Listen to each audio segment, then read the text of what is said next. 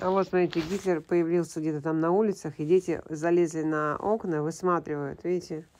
Но самое, что интересно, посмотрите на обувь. Ма, бабушка моя рассказывала, что у нее, она жила в Киеве, у нее не было обуви вообще.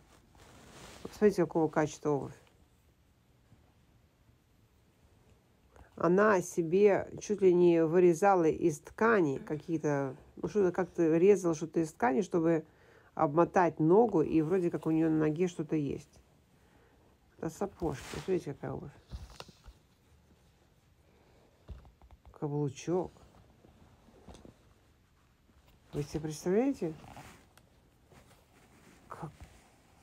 Вот, вот те же самые годы, когда на, в Советском Союзе не было обуви, и в Киеве дети ходили с тканью на ногах. Представляете, я так смотрю, боже, как они жили лучше нас. И они до сих пор живут лучше нас. Ну, точнее, уже я-то в Америке живу, но россияне, у вас даже до сих пор ваши дети не все имеют такую обувь.